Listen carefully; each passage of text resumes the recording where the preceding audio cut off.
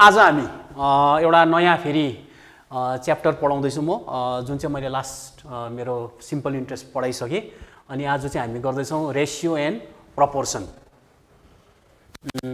Ratio and प्रपोर्सनमा अलिकति पहिला चाहिँ कन्सेप्ट क्लियर गर्नु।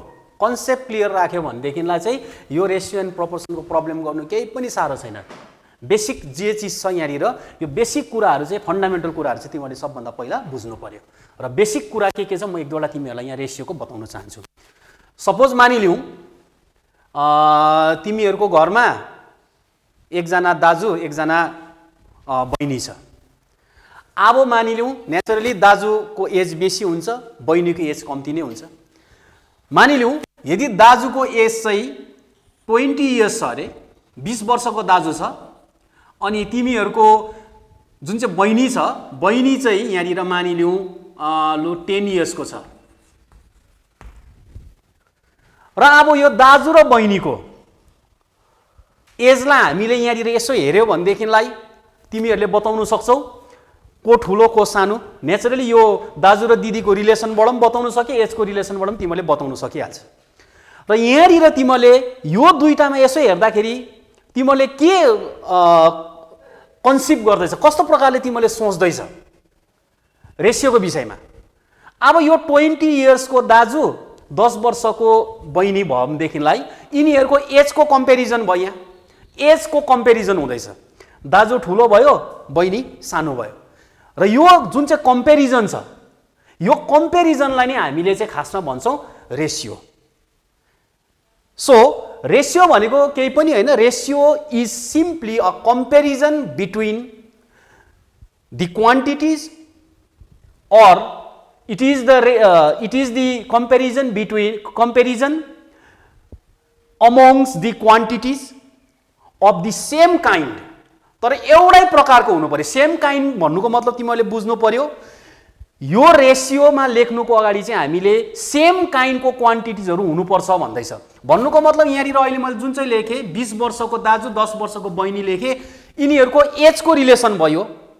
बिस वर्ष अनि दस वर्ष भनेपछिदेखिलाई यहाँनिर युनिट के छ? इयर्स छ यहाँ। सेम काइन्डको भयो वर्ष भयो एउटै भयो। त्यसले गर्दाखेरि यो हाम्रो रेसियो भयो। यसलाई हामीले रेसियोमा एक्सप्रेस गर्नु सक्छौँ अब।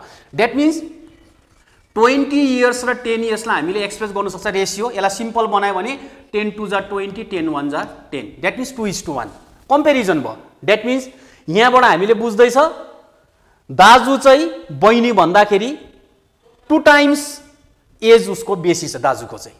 यसरी बुझ्नु पऱ्यो बहिनीको भन्दाखेरि। र रेसियो चाहिँ एउटा कम्पेरिजन हो।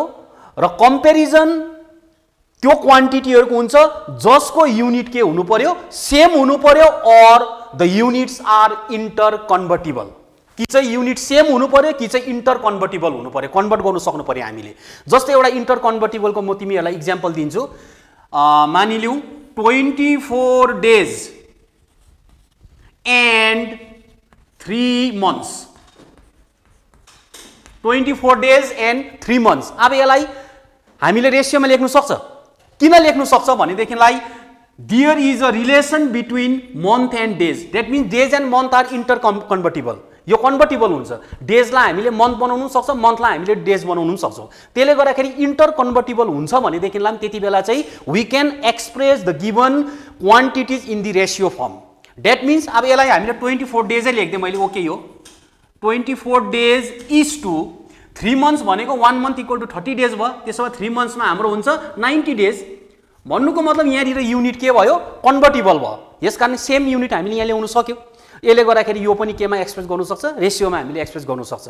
So ratio can be express only if and only if when the units are same or interconvertible. जस्तो अर्को इक्जाम्पल दिउँ तिमीहरूको यस्तो।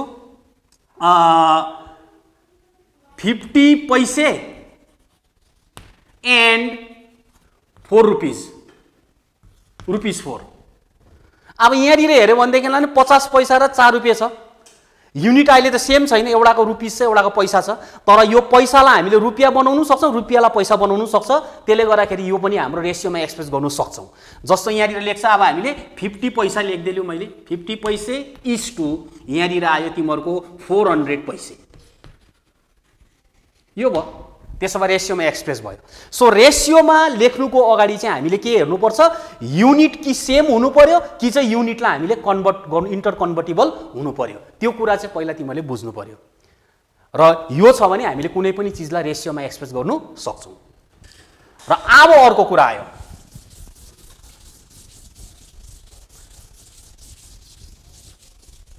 सो रेसियोमा अब सपोज मानिलिउँ if A and B are the two given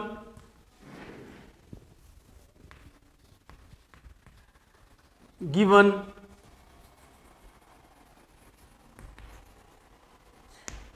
quantities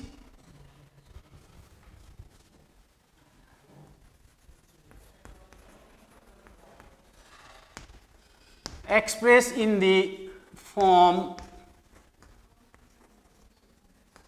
A is to B. So रेसियोमा पढ्नु पऱ्यो अब यो ए र बी दुईवटा क्वान्टिटी छ हाम्रो र यसलाई हामीले रेसियोमा एक्सप्रेस गर्दैछ कसरी?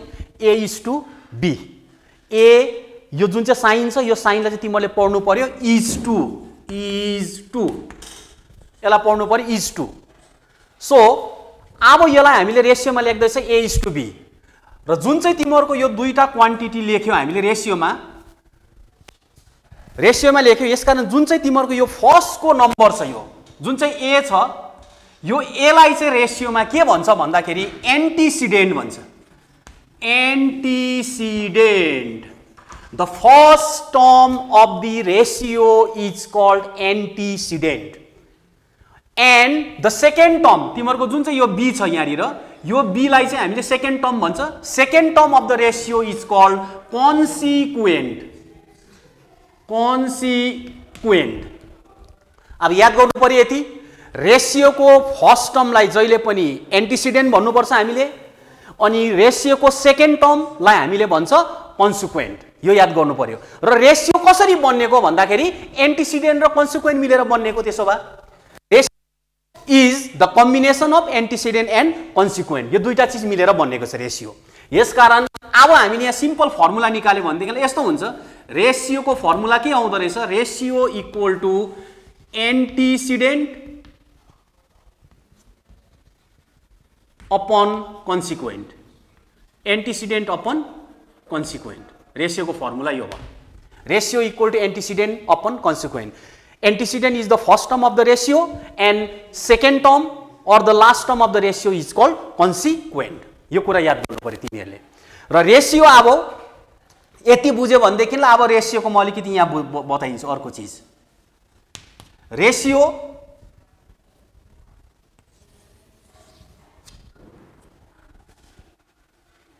तिमीहरूले यहाँ दुई प्रकारको पहिला रेसियो बुझ्नु यहाँ। रेसियोमा एउटा चाहिँ बुझ्नु ratio of equality ratio of equality एउटा छ. अनि अर्को छ तिमीहरूको ratio of inequality ratio of in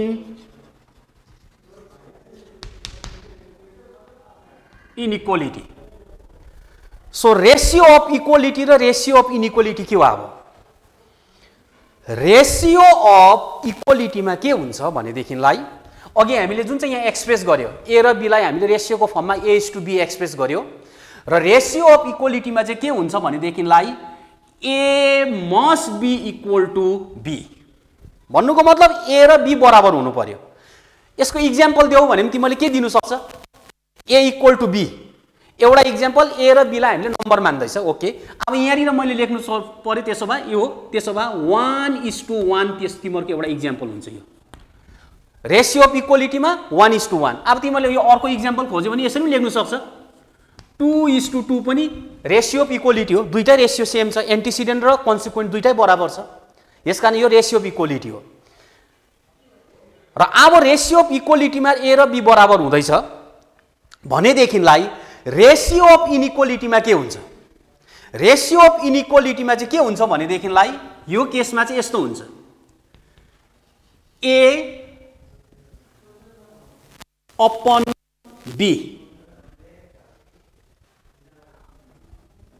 is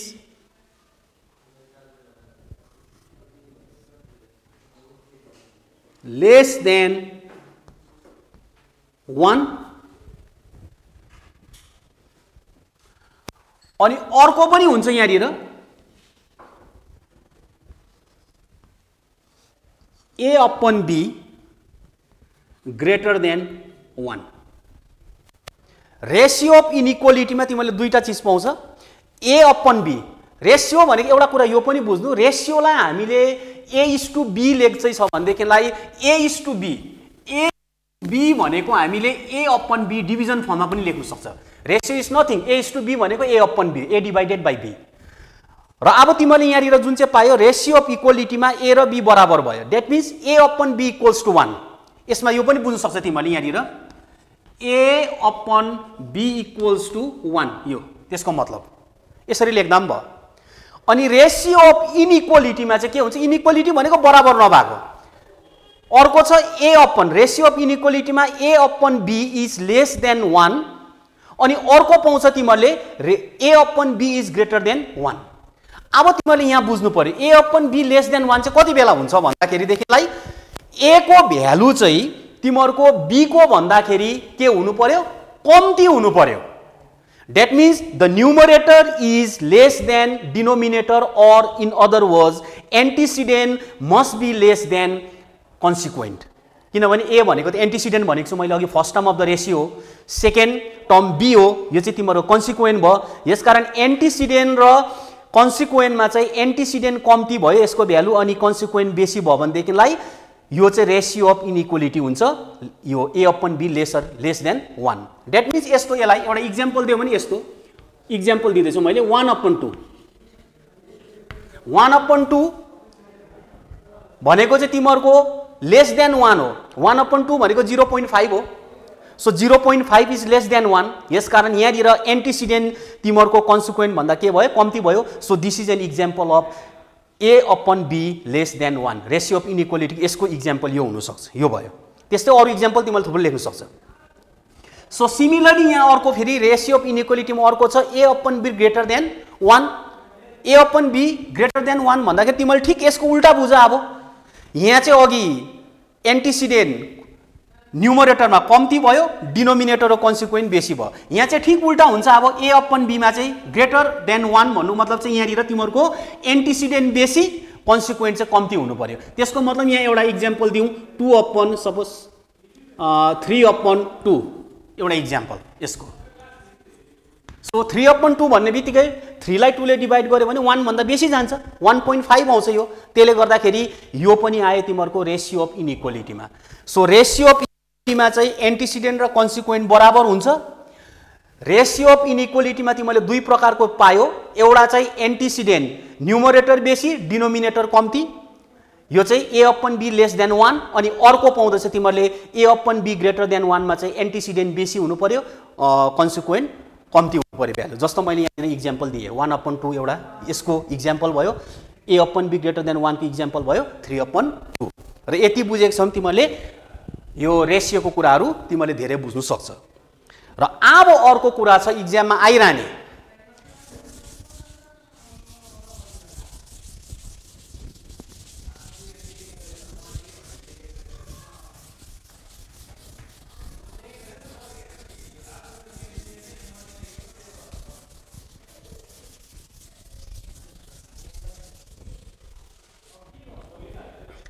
र अब तिमीहरूलाई इक्जाममा सोधिरहने चिजहरू म बताउँदैछु रेसियोको। यो चिजहरू याद गर्नु टर्म्सहरू।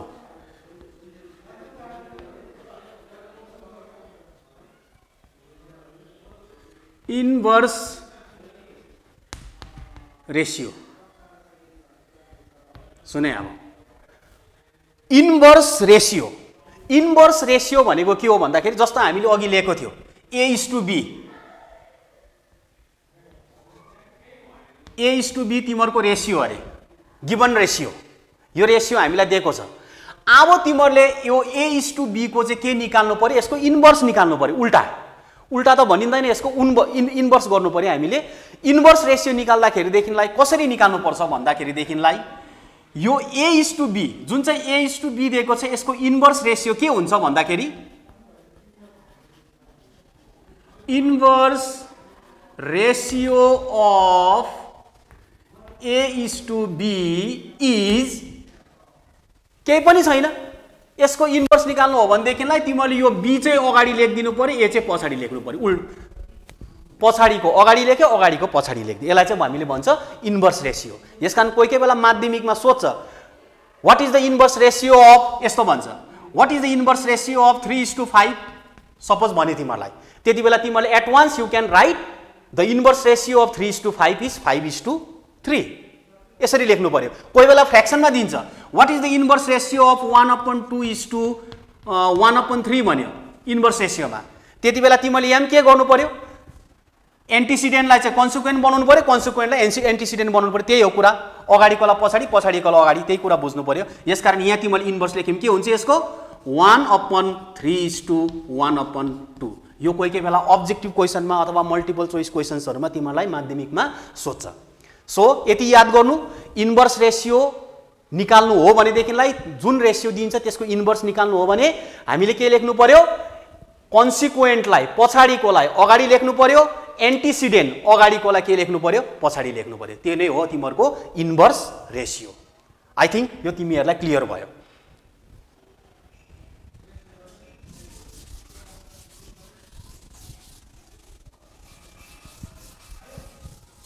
अब आउँदैछ तिमीहरूको इक्जाममा आउने माध्यमिकको रिलेटेड तिमीहरूको सिलेबसभित्रको पढाउँदैछु। अर्को चाहिँ छ तिमीहरूको मिक्स्ड अर कोही कोही बेला यसलाई कम्पाउन्ड पनि भन्छ। Mixed or compound ratio mixed or compound ratio एउटै कम हो सिनोनिम सिनोनिम्स हो यिनीहरू मिक्स्ड अर कम्पाउन्ड भनेर कुनै सोध्नु सक्छ। मिक्स भने पनि एउटै हो कम्पाउन्ड भने पनि एउटै हो। मिक्स अथवा कम्पाउन्ड रेसियो हामीले निकाल्दाखेरि चाहिँ के गर्नुपर्छ जस्तो मानि लेख्दैछु मैले। If A is to B C is to D and E is to F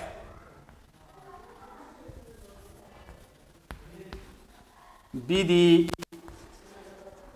three ratios तिनवटा रेसियो दिएको छ तिमीहरूलाई। ए इस टु बी एउटा दिएको छ अर्को छ सी इस टु डी अर्को दिएको छ ई इस टु एफ यो तिनवटा रेसियो तिमीलाई दिएको छ। अब तिमीहरूलाई यसको के निकाल्नु पर्यो? मिक्स्ड अथवा कम्पाउन्ड रेसियो निकाल भने निकाल भने तिमीहरूले के गर्नु पर्यो? अब यसको मिक्स अर कम्पाउन्ड रेसियो के हुन्छ? Mixed or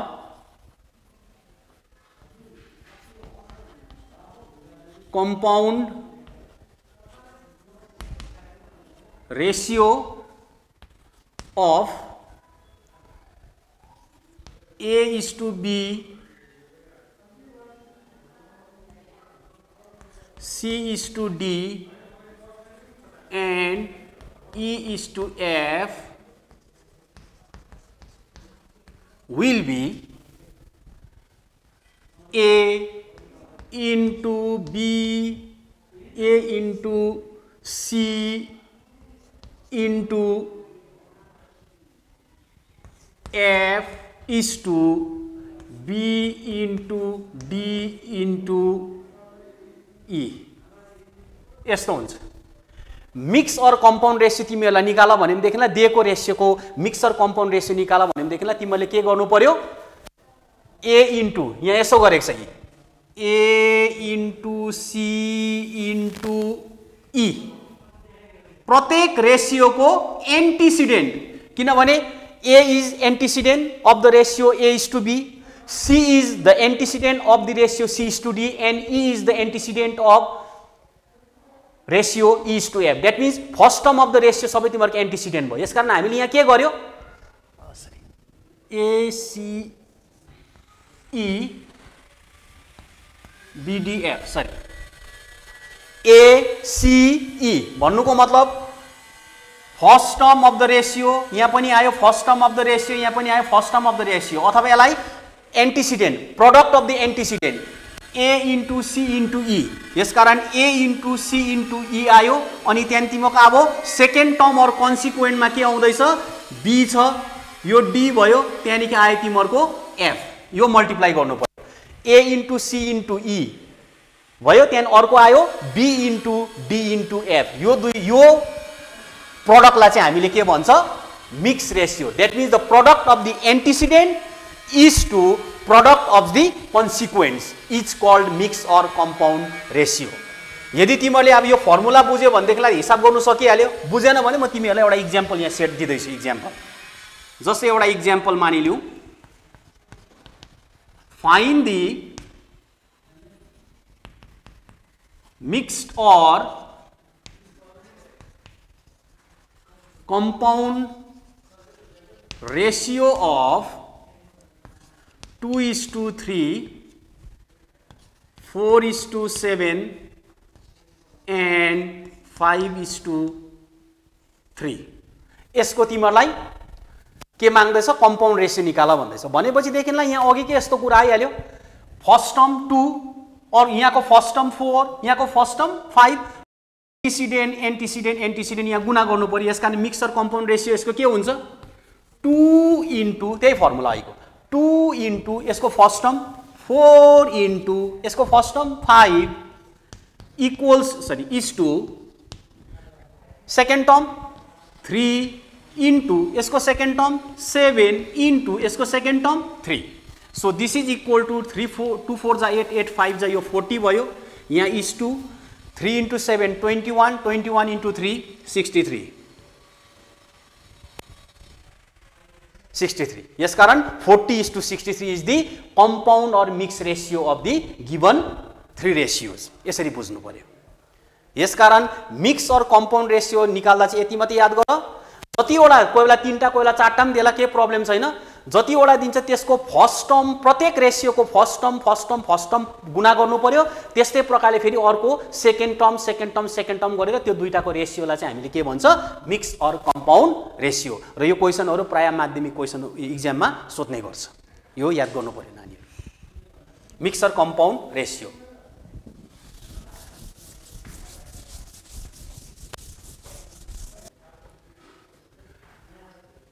अच्छा अब तिमीहरूलाई म एक दुईवटा यसको एक्सर्साइज गराउँदैछु क्लास टेनको बुकबाट मिक्स रेसियो तिमीहरूले गर्नु सक्छौ। तिमीहरूले रेसियोमा कन्भर्ट गर्नु सक्छौ। Ratio of equality ratio of inequality तिमीहरूले हेरिहाल्यौ। त्यहाँदेखि तिमीहरूले इन्भर्स रेसियो के हो त्यो पनि बुझिहालेको छ। त्यो सिम्पल प्रब्लमहरू चाहिँ एकदम त्यसमा डरलाग्दो बुझ्नुपर्ने पनि केही छैन। त्यस तिमीहरूले सक्छौ। र अब यहाँनिर पनि हामीलाई प्रब्लम त्यति साह्रो साह्रो प्रब्लम छैन। सिम्पल प्रब्लम छ। यसकारण यो प्रब्लमहरू म एक दुईवटा गराउँदैछु तिमीहरूलाई हेर uh, let us work out 5.1. So, of A is to B equals to 6 is to 7 and B is to C equal to 8 is to 7. यो दिएको छ। तिमीलाई के निकाल्नु अरे? Fine A is to C A is to B पनि दिएको छ। दुइटाको रेसियो छ। Six is to seven B is to सीको रेसियो छ। एट इज टु सेभेन तिमीले कसको निकाल्नु पऱ्यो? ए र सीको रेसियो निकाल अरे। ए र सीको निकाल्नु अरे यहाँबाट। यसकारण यो ए र सीको रेसियो निकाल्नु यहाँ ठुलो कुरा केही पनि छैन। Very simple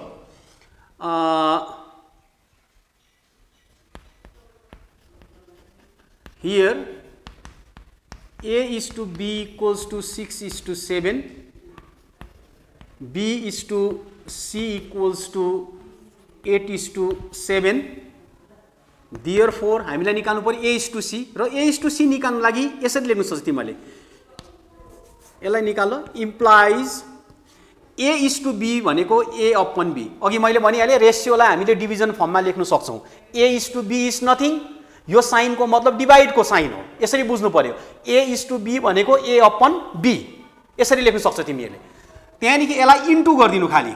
इन्टु अब अर्को छ हाम्रो बी इज टु सी यसलाई पनि लेख्छ हामीले बी अपन सी डिभिजन फर्ममा लेखिदियो। इक्वल्स टु अब यहाँ ए इज टु बी भनेको कति छ? सिक्स इज टु सेभेन यसकारण यहाँ सिक्स अपन के लेखिदिएँ मैले यहाँ? त्यस्तै प्रकारले डिभिजनमा सिक्स अपन सेभेन फेरि यहाँ लेखिदिएँ मैले into eight is to seven भनेको फेरि यसलाई पनि हामीले लेख्छ एट अपन सेभेन सो यसले गर्दाखेरि तिमीहरूको यो बी बी त के भयो? क्यान्सल भयो? क्रस मल्टि मल्टिप्लिकेसनमा छ यस कारण यो बी बी क्यान्सल भयो। अब तिमीहरूको यहाँ के रह्यो त खालि रेसियो ए अपन सी त रहँदैछ नि। This implies A upon C equals to यो मल्टिप्लाई गरिदियो न्युमरेटर सिक्स इन्टु एट भनेको forty eight denominator into denominator seven into seven भनेको यहाँनिर आयो फोर्टी नाइन सो तिमीहरूले एन्सरमा यसरी लेख्न सक्छौ। Therefore A is to C भनेको छ। ए को रेसियो कति हो? Forty eight. अनि बीको रेसियो कति हो? हाम्रो forty nine. So this is the answer र अब यति कुरा याद गर्नु। जब तिमीहरूलाई यहाँनिर अब A is to B B to C दिएको छ ए इस टु सी निकाल भन्यो तिमीहरूले जस्ट यसलाई डिभिजन फर्ममा लेखेर मल्टिप्लाई गऱ्यो भनेदेखिलाई तिमीहरूको एन्सर आइहाल्छ यो। यसमा साह्रो केही पनि छैन। तर अब कोही क्वेसनहरू यस्तो हुन्छ। अब यस्तो म देखाउँदैछु एउटा क्वेसन तिमीहरूलाई बुककै क्वेसन हो यो पनि। नेक्स्ट क्वेसन हेर तिमीहरूले suppose question number three question number फोरको यो अघि मैले गरेको क्वेसन नम्बर वान हो। न क्वेसन नम्बर फोरको क्वेसन नम्बर थ्री गर्दैछु म। If A is to B equals to 3 is to 4 3 is to 4 and B is to C equals to 2 is to 3 find A is to B is to c. यो निकाल्नु अरे हेर अब question त अघि हेर्दा यस्तै छ A is to B three is to four B is to C two is to three निकाल्नु पर्यो अघि चाहिँ यहाँ ए इज टु सी निकाल भनेर भन्यो अब यहाँ चाहिँ भन्दैछ A is to B is to C निकाल भनेर भन्यो अब क्वेसन हेर्दा त यस्तै यस्तै खालको छ नि तर अब त्यसरी यो हिसाबलाई हामी त्यसरी त्यस्तो प्रकारले गर्नु सक्दैनौँ यहाँनिर।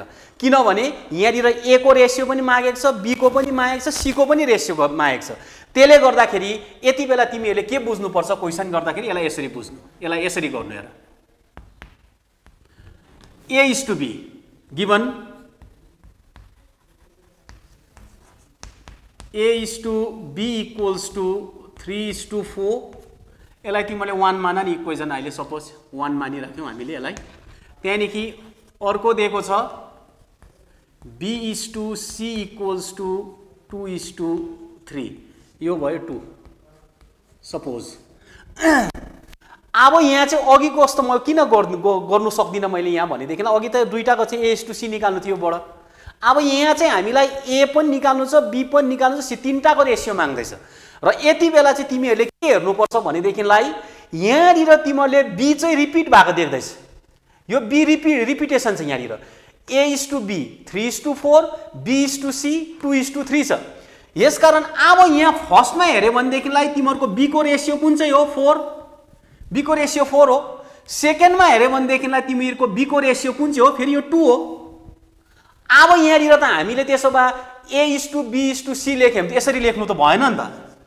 A is to B is to C equal to चाहिँ अब के लेख्ने त्यसो भए? ए को रेसियो त थ्री अरे लु ठिकै छ। बीको रेसियो चाहिँ अब फोर र टूमा चाहिँ कुन चाहिँ लेख्ने त फेरि? बीको रेसियो त यहाँ त फोर छ यहाँ त बीको रेसियो फेरि टू छ। दुइटामा कुन चाहिँ लेख्ने त? त्यसले गर्दाखेरि त हामीले त यहाँ त लेख्नु सकेन अब यहाँ त अप्ठ्यारो पऱ्यो हामीलाई। अनि सीको रेसियो पनि सपोज यहाँनिर आयो अरे थ्री अर्को थ्री लेख्यो अरे नि त हामीले। तर बीको त लेख्नु सकेन हामीले यहाँ रेसियो र यसले गर्दाखेरि यहाँ चाहिँ तिमीहरूले के गर्नुपर्छ भनेदेखिलाई जहाँनिर तिमीहरूको रेसियो रिपिट भएको छ जसको रेसियो रिपिट भएको छ त्यो रेसियो बराबर छ कि छैन whether they are equal or not यदि यिनीहरूलाई इक्वल छ भनेदेखिलाई त प्रब्लम भयो निस्किहाल्थ्यो डाइरेक्ट यहाँ त अनइक्वल छ त्यसले गर्दाखेरि यो दुईवटा रेसियो जुन चाहिँ बीको रेसियो छ माथि र तल इक्वेजन वान र टूमा यो दुईवटा रेसियोलाई चाहिँ हामीले पहिला के गर्नुपर्छ? इक्वल गर्नुपर्छ। After that only we can find the exact ratio between A amongst A B and C निकाल्नु सक्छौँ। र कुरा चाहिँ यसरी बुझ्नु पर्यो यहाँ चाहिँ बीको रेसियोलाई हामीले के गर्नुपर्छ? इक्वल गर्नुपर्छ। यहाँ बीको रेसियो फोर छ यहाँ बीको रेसियो टू छ।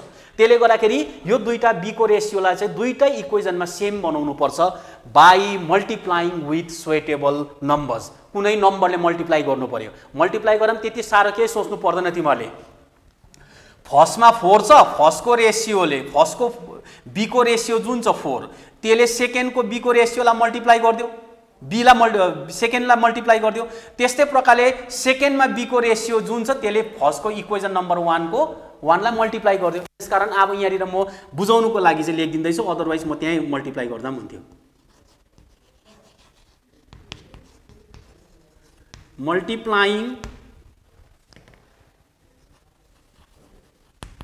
ratio or ratios of 1 by 2 and ratios of 2 by 4 2 by 4 we get त्यसो भए तिमीले के पायो यहाँनिर? इक्वेजन नम्बर वानको रेसियोलाई चाहिँ हामीले टूले मल्टिप्लाई गर्यो अनि इक्वेजन नम्बर टूको रेसियोलाई चाहिँ केले फो मल्टिप्लाई गर्यो? फोरले in order to make the ratios of B equal in both equation one and two बीकोलाई मात्रै हेर्नु पऱ्यो ए र सीकोलाई दरकार छैन हामीले। बीको रेसियोलाई हेर्नु पऱ्यो तर मल्टिप्लाई गर्दा चाहिँ डल्लै रेसियोलाई मल्टिप्लाई गर्नुपर्छ। वानको पनि टूकोलाई पनि। त्यसरी बुझ्नु पऱ्यो सो अब त्यसो भए यहाँनिर आउँछ। Implies A is to B के हुन्छ अब? ए इज टु बीलाई फर्स्टको रेसियोलाई हामीले केले डिभाइड मल्टिप्लाई गरेर चाहिँ टूले यसकारण मल्टिप्लाई गर्दा चाहिँ ए र बीको रेसियो दुइटालाई नै गर्नुपर्छ। एउटालाई मात्रै गर्नु हुँदैन। Two into three six is to two into four eight अनि अर्को आयो बी इज टु सी भनेको कति आउँदैछ तिमीहरूको फोरले मल्टिप्लाई गरेछ हामीले होइन? फोरले फोर इन्टु टू एट भयो। Is to four into three twelve अब हेर त यहाँनिर। मल्टिप्लाई गरेपछि अब तिमीले ए इज टु बी बीको रेसियो कुन चाहिँ हो? एट यहाँनिर पनि बी इज टु सीमा बीको रेसियो कुन चाहिँ हो? एट एट र एट के भयो? बराबर भयो। अघि यहाँ त अनइक्वल थियो फोर र टू थियो। यसकारण हामीले यो बीको रेसियोलाई इक्वल गर्नुको लागि इक्वेजन वानलाई मल्टिप्लाई गर्यो टूले अनि इक्वेजन नम्बर टूलाई मल्टिप्लाई गर्यो फोरले now the ratios of B's are equal in both equation one and two दुइटामा नि इक्वल भयो। र अब चाहिँ तिमीहरूले यहाँनिर लेख्न सक्छौ therefore A is to B is to C equals to 6 is to 8 is to 12 अघि मैले भनेको थिएँ बीको चाहिँ कुन चाहिँ लेख्ने? टु लेख फोर लेख्ने कि टू लेख्ने भएको थियो? दुइटा त अनइक्वल छ। अब यहाँ त बीको रेसियो इक्वल भयो नि त त्यसले गर्दा एट र एटमा जुन लेख्दा पनि भयो यसकारण यस्तो प्रकारले चाहिँ यो खालको पर्छ हामीले। याद गर्नु पर्यो। र यसरी इक्वल गरेपछिदेखिलाई जुन रेसियो हुन्छ यदि इफ यसको कमन फ्याक्टर छ भनेदेखि सिम् सिम्पल नम्बरमा लेख्न सक्छ। हामीले लोएस्ट रेसियोमा टूले मल्टि डिभाइड गरिदिएँ मैले। टू थ्री जा सिक्स टू फोर जा एट टू सिक्स जा टुवेल्भ यसकारण your answer is three is to four is to six so this is the ratio of A is to B is to C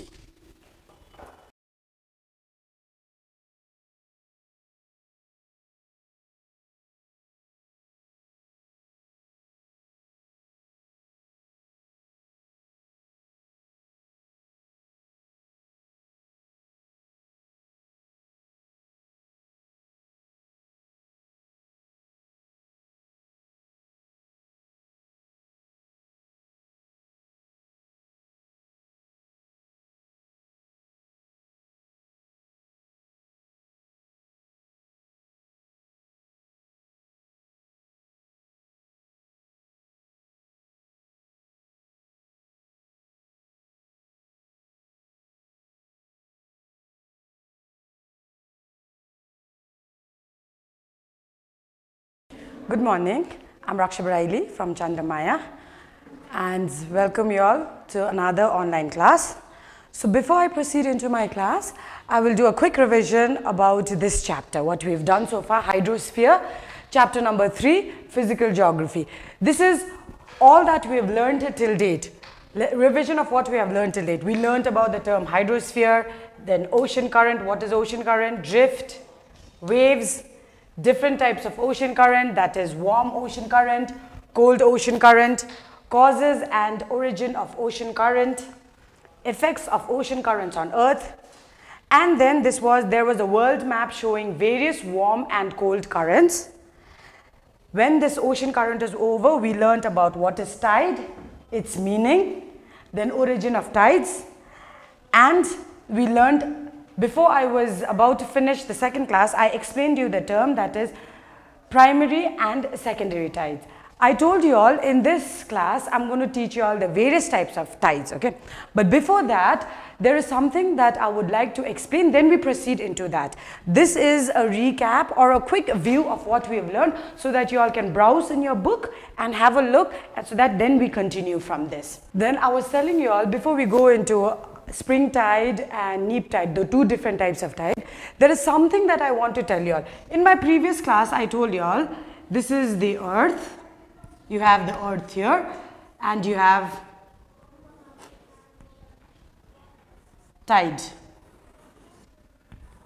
two high tides. And here you have the moon. In my previous class, I've told you all. Now see, this, this tide is known as primary tide. जुन चाहिँ tied चाहिँ मुनको मुनसँग face गरेको छ the tide where the gravitational pull of the moon is maximum that tide is known as a primary tide and here the second bulge is known as secondary tide. So you have two high tides, the secondary tide is also high tide and this primary tide is also high tide and here you have low tide and here you have low tide. Now today we're going to talk about difference in time between high tides and low tides. Why do we have, now suppose this, this tide is high tide and this, this they do not occur at the same time. Why is that so? In my previous class we learned about the earth's rotation but we did not learn, we did not focus onto the moon. Moon is also revolving around the earth. You moon pan the earth ko ori pari it is revolving. So this revolution of the moon has an effect. This revolution of the moon has an effect. And what effect is this? We're going to study. This effect is now say, oh, now coming back to the point, the primary tide and secondary tide, it doesn't occur at the same time. And why is it so? Because of the revolution of the earth, of the moon around the earth. We do not have the same time difference. There's a time difference of time difference 12 hours and 26 minutes. यो एउटा primary tied आयो अरे यो यो six एएममा आयो अरे अर्को tide after twelve hours that means after twelve hours and twenty six minutes यो टाइड आउँछ न why how do we get this okay earth moon takes twenty eight days to complete one whole revolution अट्ठाइस दिनमा मुनले अर्थको वरिपरि घुमिसक्छ so in one day thirteen degree thirteen degree चाहिँ चल्छ so in one day यो मुन यहाँ चाहिँ तेह्र डिग्री मात्रै अगाडि बढ्छ so it takes twenty eight days but in one day it moves thirteen degrees ahead so now how come this thirteen let's do it here How come 13?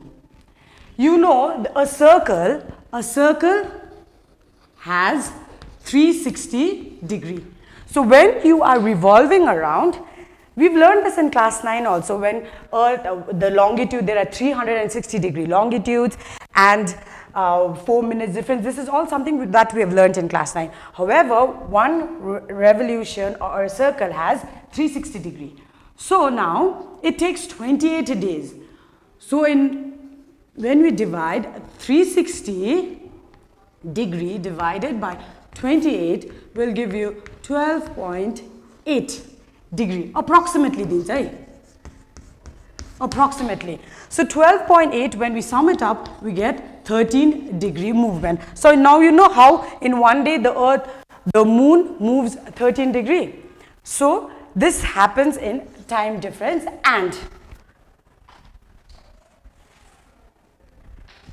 time difference of 12 hours 26 minutes moon takes 28 days one day 13 degree कसरी 13 degree ayo yo and it takes an extra of 52 minutes अब यो 52 minutes कसरी आयो भन्दा we know when we've learned in class uh, 9 longitude another longitude another longitude the difference between one longitude to another longitude, time difference kati huncha bhanda 4 minute we've learned this in class 9. Likewise, when we multiply 13 into 4, we get 52 minutes.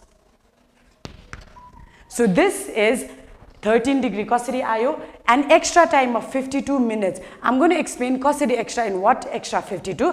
But 52 कसरी आयो भन्दा चाहिँ 13 into 4 you get 52.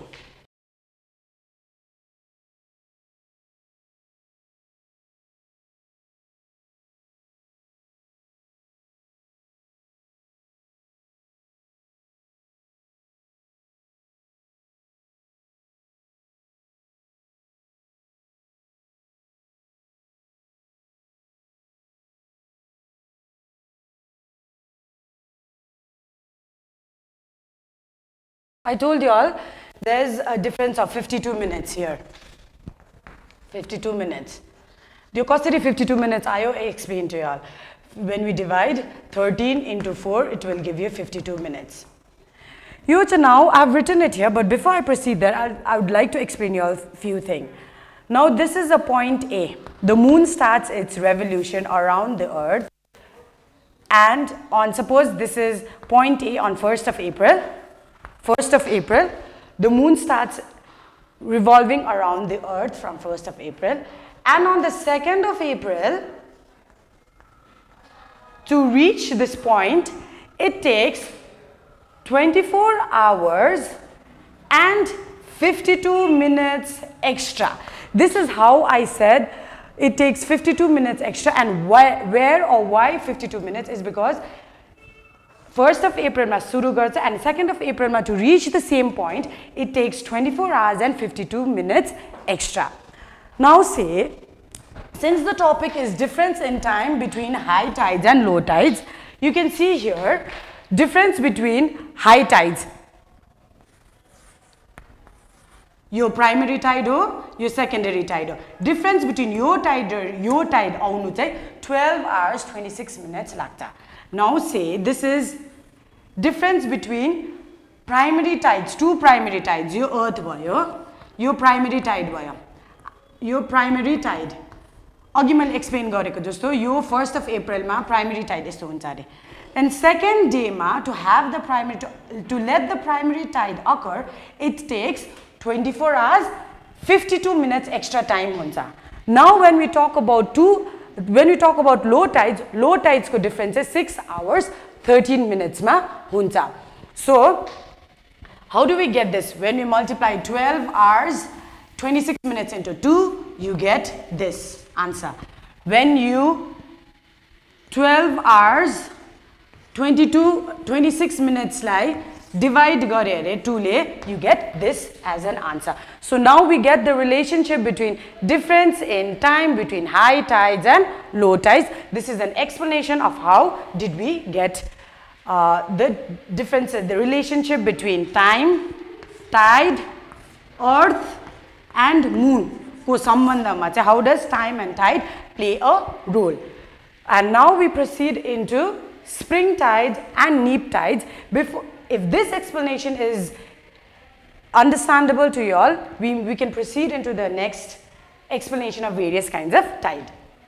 Now we come to spring tide and different types of tide. Here we have spring tide and neap tide. Before I go into spring tide and neap tide, there is a diagram that I would like to explain that is the phases the moon. Moon ko कतिवटा phase हुन्छ? हामीलाई सबै थाहा छ full moon new मुनहरू हुन्छ। Now this is the earth and this is the moon I I been telling you because टाइडको effect चाहिँ मुनले गर्दा नै हुन्छ। This when it starts this moon is known as new moon fresh moon on new moon त्यहाँदेखिको यो revolution सुरु गर्छ this is day zero zero day यो रेभोल्युसन गर्छ वेन इट रिचेस हियर यसलाई के भन्छ जब आधा भाग मात्रै देख्छ when we see only the half part of the moon that is known as the first quarter first quarter of the moon. First quarter of the moon, it takes approximately, approximately, say, on the seventh a day,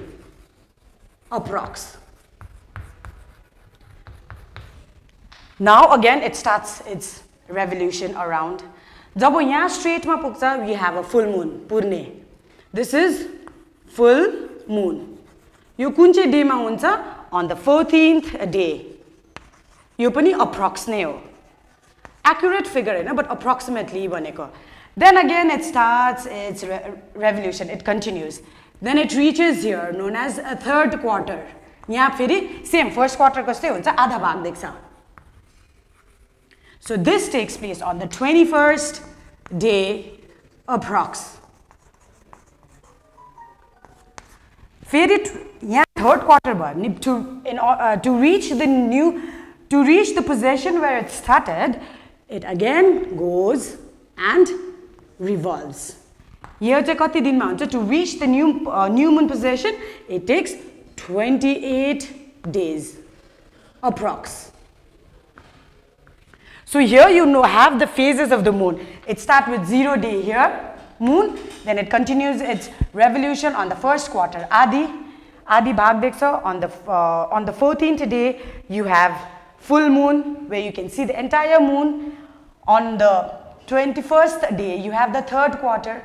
It continues its revolution and on the 28th day, 28th day, you have the new moon possession back again. Before explaining spring tide and neap tide, यो जुन चाहिँ spring tide छ, it happens on new moon. यो it occurs on new moon and it occurs on full moon. The spring tide, it is the highest, you'll have to mug this up, highest high tides. It is the highest high tide and this occurs like I told you all in new moon, new and full moon. I'm going to teach, I'm going to draw a diagram of the position of a full moon. How does this tide occur? On a full moon, you have the moon here. And you have the earth here. And you have the sun here.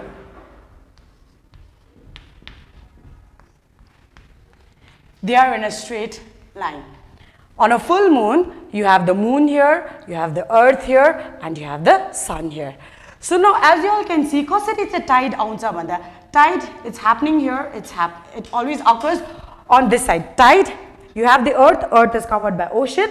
Tide it bulges this side and this side. यो पट्टि छेउछेउमा चाहिँ it bulges the bulge or the rise of sea level is known as tide. Likewise, you have tide. But spring tide भनेको highest high tide जुन चाहिँ high tide already छ that even becomes higher. So why is it? It is because the gravitational pull of the moon and from one side the moon pulls and from the other side the gravitational pull of the sun. That is why the high tides gets higher. Now you know spring tide occurs in new moon and full moon. Full moon ma kasari huncha I have told you all. Now we will talk about the phase in a new moon. Full moon भनेको पूर्णिमा new मुन यसलाई औँसी भन्छ new मुनलाई this is you have the moon here the earth here and the sun here यो पोजिसनमा चाहिँ हुन्छ मुन बिचमा भएको when the moon is in the center of the sun and the earth that is known as new moon here as you know again tide tide tide this is also tide now how come how come high tide gets higher it is because the sun has a gravitational pull moon also has a gravitational pull your sun and moon को gravitational pull combine गरेर चाहिँ strong हुन्छ नि त 2 plus 2 is 4 likewise when you combine this 4 is greater, 2 or 2 bhanda, 4 is greater. So likewise, when you combine the gravitational pull of the moon and the sun together has more effect, that is why then more gravitational pull towards the earth, that is why you have the high tides getting higher. So now we finished with spring tide. neap tide. Neap tide occurs in first quarter and third quarter. We finished with spring tide. Now we talk about neap tide. Now what is this neap tide secure? It is the lowest high tide. It is the lowest high tide and it occurs in first and third quarter. This first and third quarter ma kasto huncha bhanda chai the earth is here the sun is here like I've told you all.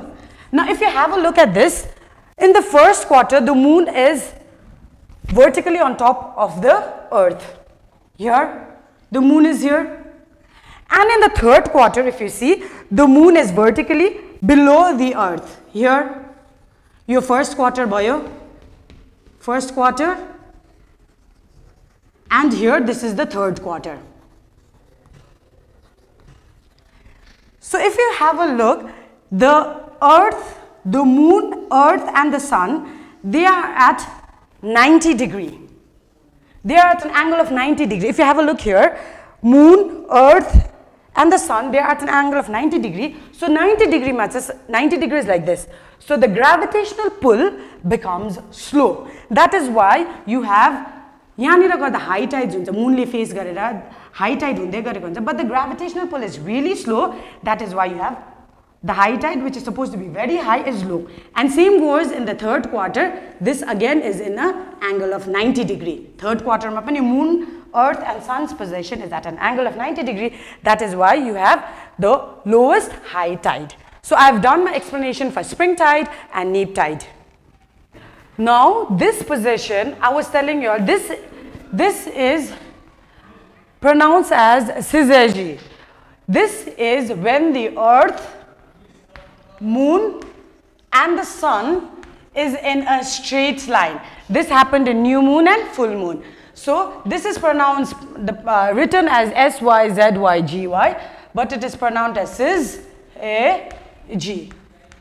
Now apogee, what does this position mean? A for apogee, A for away. The earth, the moon rotates in an elliptical when the moon revolves sorry the moon revolves suppose this is earth the moon is revolving in an elliptical orbit त्यसमा गर्दा चाहिँ के हुन्छ भन्दा it's an oval shaped orbit what happens is sometimes it is furthest from the moon it is furthest from the earth the moon and sometimes it is nearer moon यो सबै nearby when it is farthest from the earth it is known as apogee. The moon, moon and earth, they are away from each other, it is known as apogee. Now, kati far, kati distance we need to know. 405, 504 kilometers away. This is easier. 405 like it, then again 504 kilometers away. What is the opposite of far? It is near. So perigee is the position when the earth and the moon they are near in the orbit. So kati banda near again, what is the distance? 3, 6, 9, 6, 3, 3, 6, and 9 kilometers. They are. That is the distance between the earth and the moon. So, syzygy is when the three celestial bodies, they are near uh, in a straight line happens in full moon, new moon, apogee when it is away, perigee when it is near. Now we come to pretty much the end of this chapter. There are a few topics that are there. We come to know about, we come to learn about tidal bore. Tidal bore It is a high tidal wave near the mouth of the river or a narrow estuary. It advances upstream like a wall of water about 5 to 8 meters high. You when the wave is there, mouth what is the mouth of a river? It is when the river is about to enter the lake, ocean that is known as mouth. जब त्यस त्यो enter गर्ने बेलामा when the tidal wave rises that is known as tidal bore. River Hooghly is in Calcutta, Calcutta or in India. Yangtze is a river in uh, China. So the tidal bore occurs there. Now we have a video Uh, now we have a video of a tidal bore.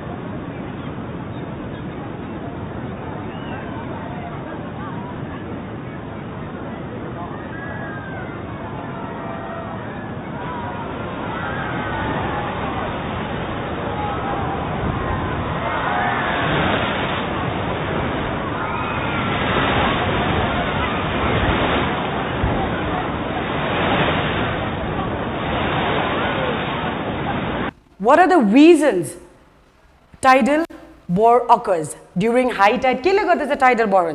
During high tides, if the mouth of the river is over silted, silted means pura sediment hero bako chavani, tana congested, mukma congested chavani, uh, tidal bores auncha. If the flow of the water gets obstructed, if the water is flowing and there's a wall, so if it obstructs, then you, you have a tidal bore if the river mouth is constricted भनेको narrow छ constricted means साँगुरो narrow छ and outside it is narrow and and it is when it is about to enter the mouth जब उयो पुग्नु आँटेको छ अरे माउथमा पुग्नु आँटेको चाहिँ वाइड हुँदा टाइडल बोर आउँछ during monsoon when the river is almost full मनसुनमा जब ठुलो हुन्छ रिभरको गति बढ्छ then you have tidal bores Now this is the last effects of tide. This tide it occurs in coastal areas and lower courses. Rivers have upper course, middle course, lower course. Lower course भनेको सबसे तल Tide tide clear out the refuse material and waste from river during the ebb tide. Tide it is a wave or the rise. So it clears out the dirt if it is there in the river. Tide makes some rivers navigable If you have a high, if you have a tide high or not high, most probably little tide, low tide, it makes the river navigable It makes the things, rivers, access, things accessible to the ports. Ports ma जानुको लागि चाहिँ navigate गराइदिन्छ tide tidal energy like you have hydro energy भनेको पानीको sourceको you have a lot of electric energy is generated from hydel power uh, with water likewise from from tide, we generate electric uh, energy that is known as tidal energy. Sea fish enter river during high tide. When you have high tide, then you have sea fish entering them. And see now, not every time it will have a positive effect. Mixing of saline waters, noon ko pani during high tide at the river mouth makes the river water unfit for watering crops. Noon ko pani, it is not beneficial for growing crops. So uh, tide water, they have a lot of salt, so it is not fit. Again, last one, salt water at high latitudes keeps the pot ice free. When you have ice in the pots, when you have uh, salt in the pots, it is ice free. These are all the effects of tide. As I tell you all, learn five because that is what comes. Now by this we come to the end of this chapter. The, these are few long questions that you'll have a look and uh, the reason why I give you long questions is because I've covered everything. So if you focus, if you know how to do these long questions, then it becomes easier for you all to solve the short questions. If you all, and I have not missed out even a dot from this chapter, these are the long questions. Kindly do this as your homework or in your copy. It will help you all to know the entire chapter. With this, I finish hydrosphere. Kindly have a look and thank you.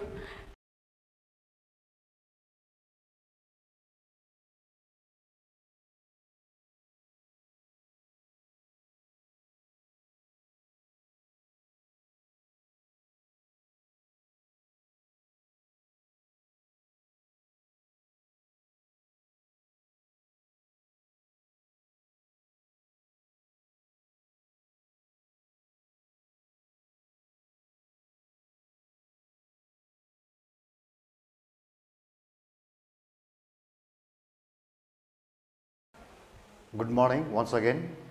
In our last class, we have learned about cell cycle, which is divided into two subphases, that is interphase and M phase.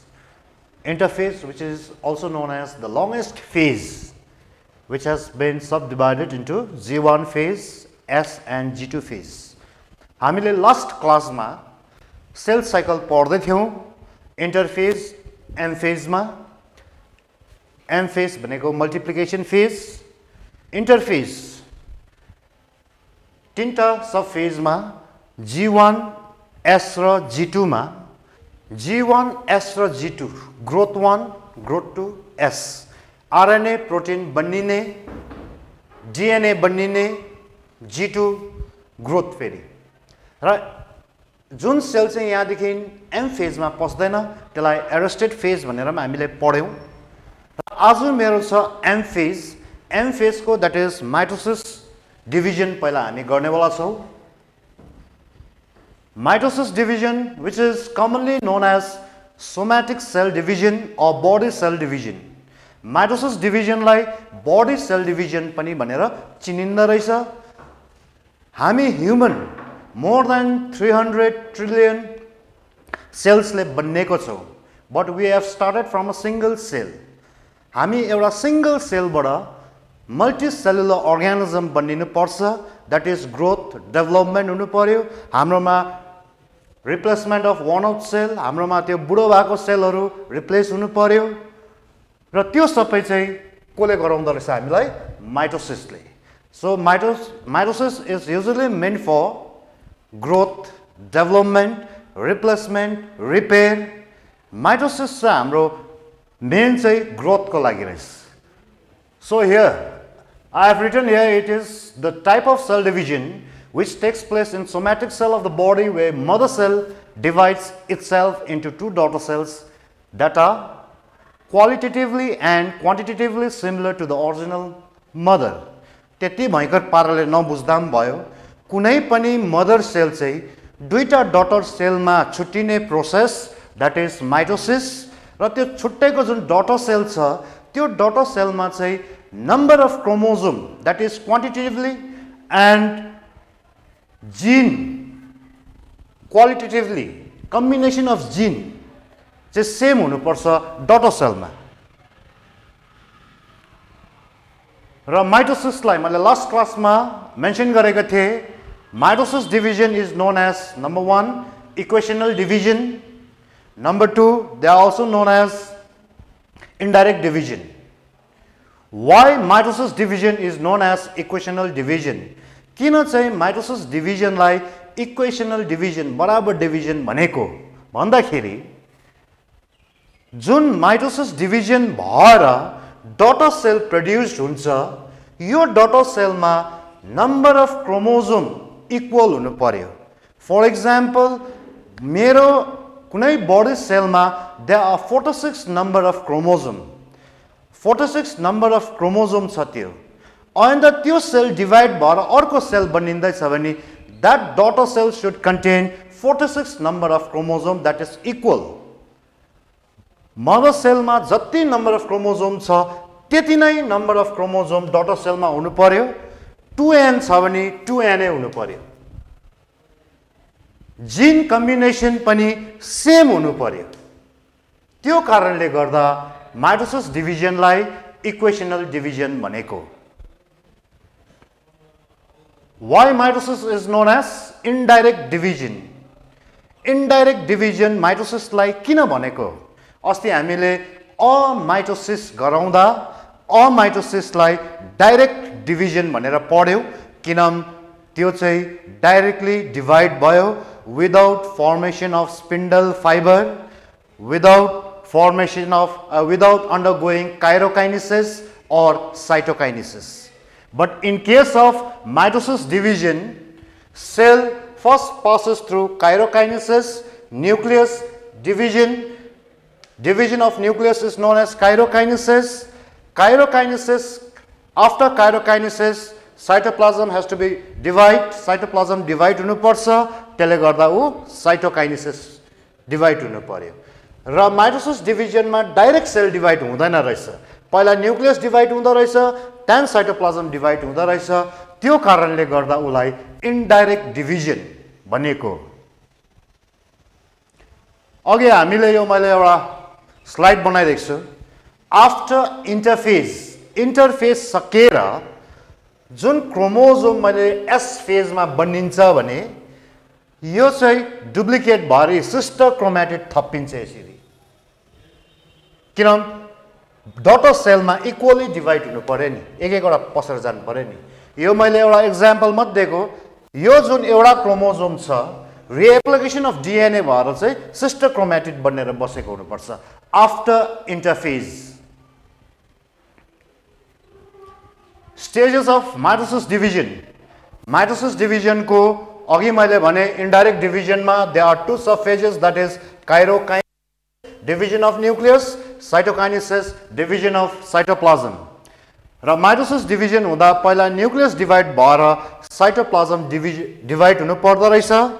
र nucleus division or karyokinesis nucleus divide हुँदा अथवा karyokinesis they are four sub phases चारवटा sub phases छ।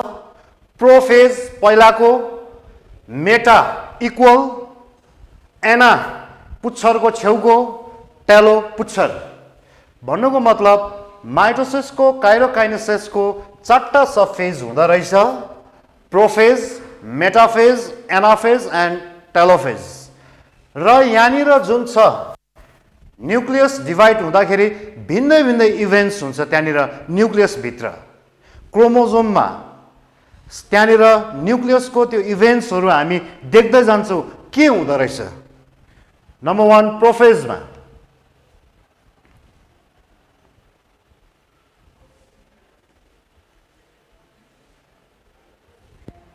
प्रोफेजमा chromosome condense जुन chromosome छ nuclear reticulum थियो chromatin जुन थियो त्यो क्रोमेटिन कन्डेन्स हुन्छ डिहाइड्रेट हुन्छ त्यहाँ भएको पानी बाहिर निस्किन्छ after condensing they form into chromosome पहिला ऊ अनकोइल्ड फर्ममा हुन्छ कोयल हुन थाल्छ गाँठो परेको जस्तो। त्यसको बादमा ऊ क्रोमोजोम बनिन्छ। Nucleolus and nuclear membrane disappear nucleus ko bogra that is nuclear membrane and the dark stain structure which is known as nucleolus they gets disappear dissolve भएर उनीहरू हराउँदै जान्छ सेन्ट्रोयल्स अस्तिको क्लासमा मैले प्रिभियस क्लासमा मैले के भनेको थिएँ सेन्ट्रोयल्स इज अ सिलिन्डरिकल सेप अर्ग्यानिल्स यो सिलिन्डर सेप अर्ग्यानिल्स हो two centrioles are a pair of centrioles form centrosome भनेर मैले अस्तिको क्लासमा भनेको थिएँ तिमीहरूलाई। त्यो सेन्ट्रल्स पनि डुप्लिकेट भएर अपोजिट पोलमा मुभ हुन थाल्छ। नर्थ पोल र साउथ पोल अहिले तिमीहरूले यहाँनिर देख्छौ। ए सेन्ट्रल्स जुन छ यो सेन्ट्रल्स डुप्लिकेट भएर अपोजिट पोलमा एउटा नर्थपट्टि जान थाल्छ एउटा साउथपट्टि आउनु थाल्छ। नम्बर वान यो सेन्ट्रल्सबाट जुन माइक्रोट्युबल्स छ यो माइक्रोट्युबल्स प्रोटिन फाइबर जुन छ स्पिन्डल फाइबर बनिनु थाल्छ न्युक्लियर मेम्ब्रेनी यहाँनिर अलिक डार्क अलिक लाइट डिसपियर हुँदै जाँदैछ यहाँ जुन डार्क स्टेन स्ट्रक्चर थियो त्यो पनि डिस न्युक्लियलस त्यो पनि डिसपियर भयो prophase which is the first phase of mitosis division prophase mitosis डिभिजनको first phase हो त्यहाँ के के हुँदो रहेछ भन्दाखेरि नम्बर वान न्युक्लियर मेम्ब्रेन जुन छ त्यो डिसपियर हुँदो रहेछ। न्युक्लियलस पनि डिसपियर हुँदो रहेछ। क्रोमेटिन कन्डेन्स भएर क्रोमोजोम बनिँदो रहेछ। सेन्ट्रल डुप्लिकेट भएर अपोजिट पोलमा मुभ हुन थाल्दो रहेछ। स्पिन्डल फाइबर फर्मेसन स्टार्ट हुँदो रहेछ। द्याट इज प्रोफेजमा first phase of माइटोसिसमा metaphase Formation completes. Spindle fiber formation bani saksa. Chromosome arrange themselves in equatorial plane.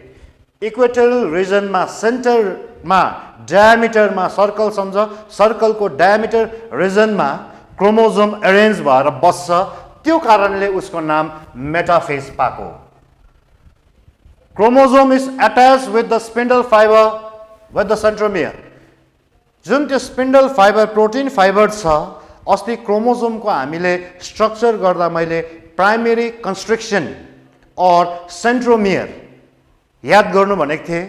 त्यहाँनिर चाहिँ त्यो स्पिन्डल फाइबर आएर टालिन्छ। यहाँ इमेजमा राम्रो बुझ्छौ तिमीहरूले। अपोजिट पोलमा सेन्ट्रल पुग्यो। स्पिन्डल फाइबर यहाँ माथि चुच्चो बिचमा फुल्लेको फेरि यहाँनिर सुकेको। स्पिन्डल सेपमा यो प्रोटिन फाइबर जुन छ त्यसलाई नै भन्छ spindle fibre. Central chromosome arrange themselves in equatorial plane यी डायमिटर रिजनमा क्रोमोजोम एरेन्ज भएर बस्यो। र यो जुन स्पिन्डल फाइबर छ क्रोमोजोमको कुन पार्टमा रहेछ भन्दाखेरि सेन्ट्रोमियरमा यहाँनिर। एट्याच भएर बस्छ। द्याट इज मेटाफेज र क्वेसन माध्यमिकमा आएको छ in which phase chromosome is distinctly visible भनेर माइटोसिसको कुन फेजमा चाहिँ क्रोमोजोम डिस्टिङली भिजिबल हुन्छ भन्दाखेरि चाहिँ कुनमा रहेछ मेटाफेजमा एनाफेज पुच्छरको छेउको सडनिङ अफ स्पिन्डल फाइबर त्यो जुन स्पिन्डल फाइबर छ त्यो छोटिँदै जान्छ टु क्रोमेटिड्स जुन त्यो एस फेजमा सिस्टर क्रोमेटिड जुन बनिएको थियो डटर सेललाई दिने त्यो छुट्टिनु थाल्छ। Daughter chromosome moves opposite pole. आदि माथि नर्थ पोलपट्टि आदि साउथ पोलपट्टि बग्दै आउँछ मुभ हुँदै आउँछ। यो स्पिन्डल फाइबर जुन छ यो छोटिँदै जाँदा टेन्सन प्रड्युस भएर जुन क्रोमोजोमलाई ब्रेक गरायो सिस्टर क्रोमेटिड ब्रेक भयो। सिस्टर क्रोमेटिड ब्रेक भइसकेर यो क्रोमोजोम पोल पोलर रिजनपट्टि एउटा साउथ पोलपट्टि मुभ हुन थाल्छ एउटा नर्थ पोलपट्टि मुभ हुन थाल्दो रहेछ। फेरि एकखेप एनाफेजलाई हेरौँ। एनाफेजमा के हुँदो रहेछ? स्पिन्डल फाइबर छोटेको कारणले गर्दा टेन्सन प्रड्युस हुँदो रहेछ। त्यो टेन्सनले चाहिँ क्रोमोजोमको सिस्टर क्रोमेटिडलाई ब्रेक गर्छ। Sister chromatid after the breaking down of sister chromatid they move towards the pole उनीहरू पोलपट्टि मुभ हुँदै जाँदो रहेछ।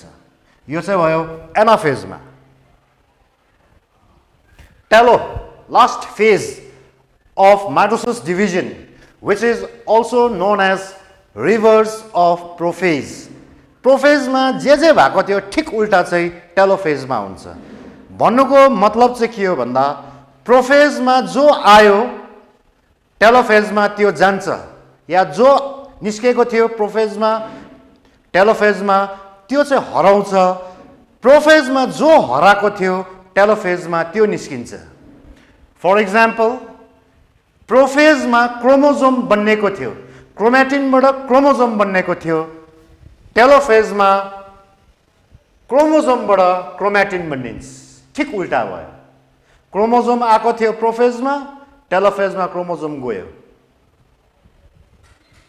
न्युक्लियर मेम्ब्रेन एन्ड न्युक्लियलस प्रोफेजमा हराएको थियो डिसअपियर भएको थियो टेलोफेजमा nuclear membrane and nucleolus reappear हामीले सिस्टर क्रोमेटिड जुन छुट्टेर पोलमा पुग्छ त्यसको वरिपरि हामीले बिस्तारै न्युक्लियर मेम्ब्रेन र न्युक्लियलस देखा पर्दै जान्छ of after anaphase that is in telophase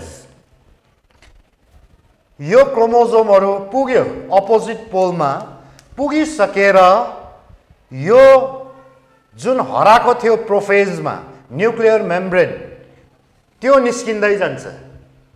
न्युक्लियलस पनि यहाँनिर निस्किन्छ आफ्टर कम्पिटिसन अफ टेलोफेज यो जुन क्रोमोजोम छ कोल्ड पार्ट अफ डिएनए यो चाहिँ बिस्तारै डिजल्भ भएर uncoil or they form into nuclear reticulum or chromatin फेरि एकखेप बुझाइँदैछु टेलोफेजमा के हुँदो रहेछ भन्दा दुईवटा क्रोमेटिडहरू सिस्टर क्रोमेटिडहरू अपोजिट पोलमा पुगिसकेर न्युक्लियर मेम्ब्रेन रिएपियर हुँदो रहेछ। न्युक्लियलस पनि रिएपियर क्रोमोजोम डिजल्भ भएर क्रोमेटिन बनिँदो रहेछ। जुन स्पिन्डल फाइबर पनि डिजल्भ हुन्छ। यो चाहिँ telophase last phase of mitosis division after karyokinesis karyokinesis सकेर the cell has to undergo cytoplasm division. So cytoplasm division, division of cytoplasm, it is known as cytokinesis. Cyto, cell, kinesis, division. र जब nucleus divide भइसकेर त्यो sale चाहिँ त्यसको cytoplasm divide हुनु पर्यो त्यसले गर्दाखेरि प्लान्ट सेलमा साइटोकाइनेसिस अलिक डिफ्रेन्ट छ एनिमल सेलमा अलिक डिफ्रेन्ट छ Plant cell occurs with the formation of cell plate. Plant cell divide हुँदा साइटोप्लाजम डिभाइड हुँदाखेरि के बनिनु पर्दो रहेछ भन्दाखेरि साइटो सेल प्लेट कसरी बनिँदो रहेछ यहाँ बिचमा देख्दैछौ गोल्गी बडिज भन्ने क्लास एटमा तिमीहरूले पढ्यौ cell organelle cytoplasmic organelle which is known as dictyosome in plant cell. Golgi बडिजलाई हामीले प्लान्ट सेलमा भन्नुपर्दा डिक्टासम भनेर पढ्यौ तिमीहरूले क्लास एटमा त्यो गोल्गी बडिजको जुन हामीले सानसानो ग्रेन्युल स्ट्रक्चरलाई भेसिकल्स भनेर तिमीहरूले पढ्यौ त्यो भेसिकल्सहरू लाइनअप हुन थाल्छ। दुईवटा न्युक्लियसको बिचमा आएर त्यो भेसिकल्सहरू लाइनअप हुन थाल्छ। त्यो साथसाथै त्यहाँ कतिवटा carbohydrates like cellulose pectin fats like लिपिड्सहरू त्यहाँनिर लाइन लाग्न थाल्छ। लाइन लागेर phragmoplast phragmoplast or cell plate त्यसलाई नै भन्छ प्र्याग्मोप्लास्ट अर सेल प्लेट र हामीले त्यो फर्म भइसकेर दुईवटा सेल बन्यो। सिङ्गल सेल जुन थियो लास्टमा गएर दुईवटा डटर सेल प्लान्ट सेलको छुट्टियो फेरि एकखेप बुझाइँदैछु साइटोकाइनेसिस इन प्लान्ट सेलमा चाहिँ it occurs with the formation of cell plate or phragmoplast cell plate or phragmoplast is nothing is just the accumulation of vesicles from the Golgi bodies Golgi बर्डर्सको जुन भेसिकल्स छ त्यो accumulate हुन्छ थुप्रिँदै जान्छ थुप्रिसकेर त्यहाँनिर cellulose carbohydrate भयो pectin लिपिड्सहरू त्यो सबै gather हुँदै गएर नयाँ न्यू सेल वाल बनिन्छ after the formation of cell wall daughter cell is produce दुईवटा डटर सेल बनियो। त्यो चाहिँ भयो प्लान्ट सेलमा cytokinesis image of cytokinesis in animal cell. Animal cellमा साइटोकाइनेसिस क्लिभेज फरो कुचिँदै जान्छ मेम्ब्रेन यो कुचाउने खासमा को हो भन्दाखेरि माइक्रोट्युबल माइक्रोट्युबल को हो भन्दाखेरि जसले चाहिँ सेन्ट्रोयल्स बनाउँछ। सेन्ट्रोयल्स चाहिँ को हो भन्दा जसले चाहिँ सेन्ट्रोजम बनाउँछ। र जुन त्यो माइक्रोट्युबल छ प्रोटिन फाइबर त्यो प्रोटिन फाइबरले पुल गर्नु थाल्छ। सेल मेम्ब्रेनलाई। एनिमल सेलमा सेल वल पाइँदैन सेल मेम्ब्रेन मात्रै पाइन्छ। र प्रोटिन फाइबर जुन छ त्यो प्रोटिनको नाम ट्युबलिन याद गरिराख्नु। हायस्ट क्लास टुवेल्भलाई काम लाग्छ? ऊ कन्ट्र्याक्ट हुँदै जान्छ। कन्ट्र्याक्ट हुँदै जाँदाखेरि सेल मेम्ब्रेनलाई उसले के गर्नु थाल्छ? पुल गर्नु थाल्छ। पुल गर्दाखेरि cleavages कुचिनु थाल्छ। Cleavages or furrow will be form in cell wall cell wall कुचिँदै गएर यो बिस्तारै भित्र पस्दै जान्छ। भित्र पस्दै गएर ultimately two daughter cells are produced फेरि एकखेप बुझाइँदैछु। अगाडि प्लान्ट सेल चाहिँ सेल प्लेट अथवा प्र्याग्मोप्लास्टको सहायताले एनिमल सेल चाहिँ क्लिभेज फरो क्लिभेज भनेको केही पनि होइन कुचिनु। क्लिभेज फरो डेभलप भएर डटर सेल प्रड्युस हुँदो रहेछ। यो चाहिँ भयो हाम्रो माइटोसिस डिभिजन फेरि एकखेप रिभिजनको लागि mitosis division karyokinesis division of nucleus Cytokinesis division of cytoplasm Chirokinesis has three, four subphases, prophase, metaphase, anaphase, telophase. Homework यहाँनिर छ where does mitosis division takes place mitosis division कहाँनिर पाउँछ हाम्रोमा लेखिदिँदा पनि हुन्छ कहाँनिर हो why mitosis division is call equational division उसलाई किन इक्वेसनल डिभिजन भनेको डिफरेन्स बिट्विन माइटोसिस आज गरे हामीले अमाइटोसिस अस्तिको क्लासमा गरेको दुइटाको डिफरेन्स तिमीहरूले के पायो त्यसको विषयमा लेख्नु draw and explain different phase of mitosis division mitosis डिभिजनको जुन हामीले प्रोफेज मेटाफेज एनाफेज टेलोफेजको त्यसको नक्सासहित तिमीहरूले डिस्क्राइब गर्नु difference between cytokinesis in plant cell and animal cell जुन चाहिँ योपालि माध्यमिकमा यो आएको थियो cytokinesis in plant and animal सेलको difference के रहेछ के बुझ्यौ त्यसको विषयमा र आजको लागि यति स्टे सेफ एन्ड हेल्दी जय हिन्द।